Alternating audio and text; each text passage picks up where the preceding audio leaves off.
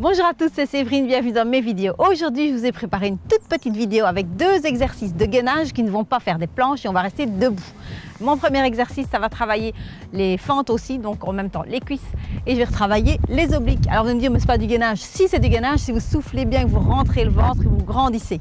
Donc, je vais souffler, pivoter. Inspire, reviens.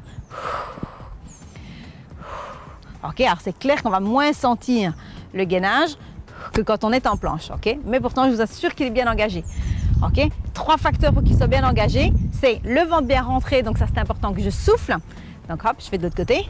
Le dos bien étiré et je pivote. Donc j'ai vraiment mes trois couches d'abdominaux qui vont travailler.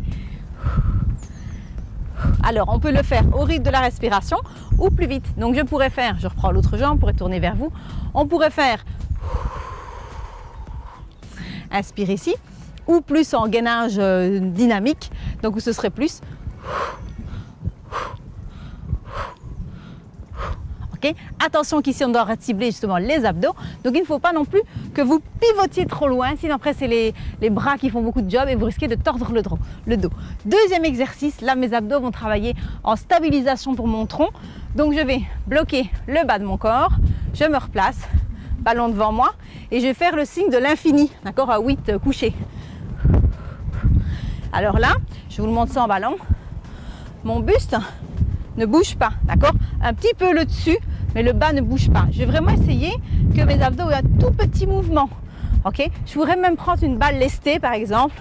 Plus j'ai de poids, plus je vais devoir résister pour ne pas euh, pivoter. D'accord? Donc là, je resserre à fond mon gainage. Celui-là, à mon avis, vous allez plus le sentir. Donc je serre le ballon. Ici, je vais vite parce que plus je vais aller vite, plus justement je vais devoir bloquer et resserrer au niveau de mes abdos. Voilà, c'était super rapide. J'espère vous avoir donné deux idées à remettre dans vos entraînements. Donc, à retravailler la fente et bien penser que dans ces exercices-là, oui, vous retravaillez le gainage, mais aussi dans toute cette euh, série où vous allez essayer d'un petit peu plus stabiliser votre corps. J'espère que ça vous a plu. N'hésitez pas à me laisser vos commentaires et à me mettre un petit pouce pour m'encourager. N'oubliez pas aussi de vous abonner à ma chaîne YouTube. Je vais essayer de mettre un peu plus fréquemment des euh, vidéos. Et puis, vous me retrouvez aussi sur Facebook. Quoi qu'il en soit, on se retrouve très bientôt. Prenez soin de vous. Ciao